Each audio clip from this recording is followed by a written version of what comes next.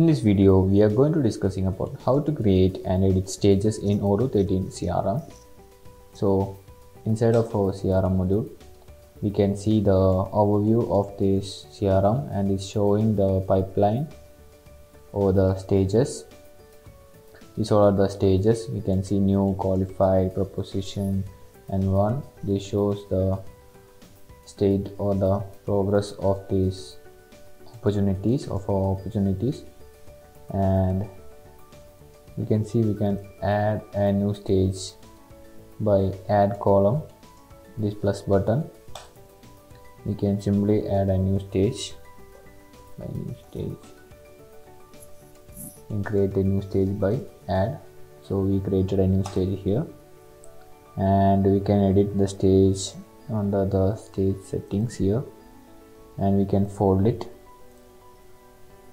And we can edit by edit stages here and we can name it and we can change the name. And if it is as won stage we can set it as a won stage we can set it.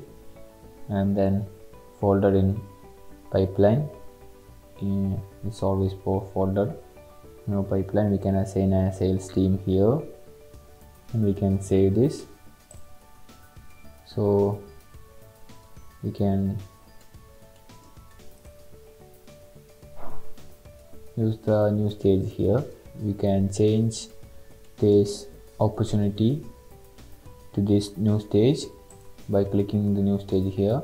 And we can see the opportunity is in won. We can see the ribbon here. And also inside the won we can see the others not change because these two are in won stage.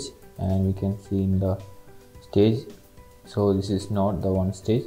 You can see mark as won and then you can see this opportunity is now it's in the won stage.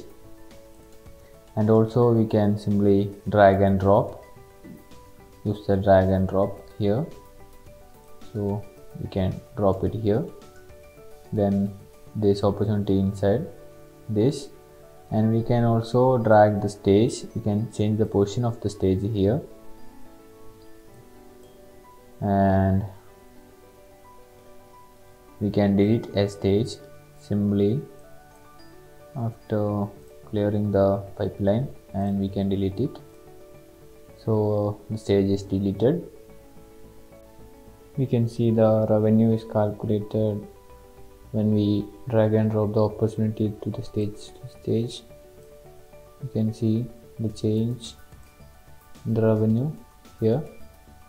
And this is our all about the stages and thanks for watching this video